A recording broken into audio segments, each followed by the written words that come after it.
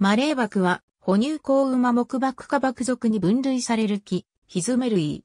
インドネシア、タイ南部、マレーシア、ミャンマー生息図正面から見た、頭部体長180から250センチメートル。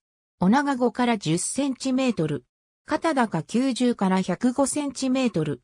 体重250から540キログラム。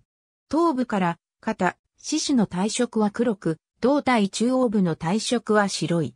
これにより、夜間では白色部が際立つことで輪郭が不明瞭になり、捕食者に発見されにくくなると考えられている。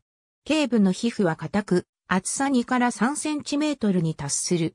アメリカバクとは異なり、首に縦紙はない。生後6ヶ月以内の幼獣には白い縦縞が入る。幼獣河川や沼地の周辺にあるタウ林に生息する。夜行性。群れは形成せず、単独で生活する。危険を感じると、茂みや水中へ逃げ込む。食性は植物食性で、主に木の葉を食べるが、果実も食べる。繁殖形態は耐性。妊娠期間は390から407日。4から5月に1回に1頭の幼獣を産む。生後2年半から3年で生成熟する。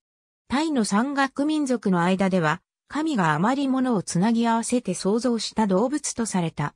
開発による生息地の破壊、娯楽やペット用の狩猟などにより、生息数は減少している。ありがとうございます。